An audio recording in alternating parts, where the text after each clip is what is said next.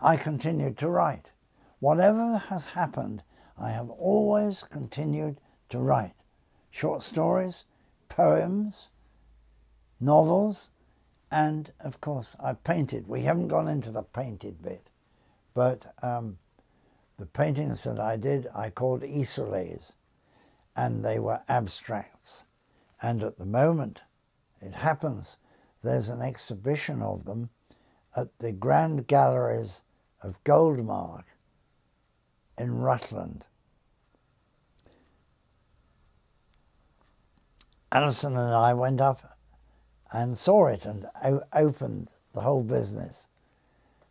Terribly nice people, the Goldmarks. Um, yes, so that's the artistic side. do you find in painting that you probably don't find in writing? Well, there's certainly something that I don't. There's something, something that eludes us, I believe.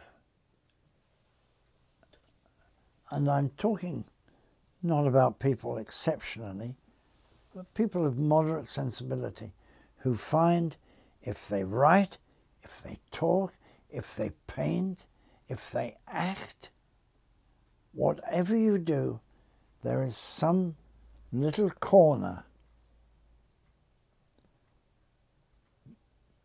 beyond speech or anything. And it's something I think that many people mistake for God. I believe it's just an affliction of the human species and we can't resolve it. Not with the best medicine. I think there's something there and I believe that it's possibly that something. I've often written about it in various diverse ways. It's that that keeps me writing, as though one day I might fumble across it.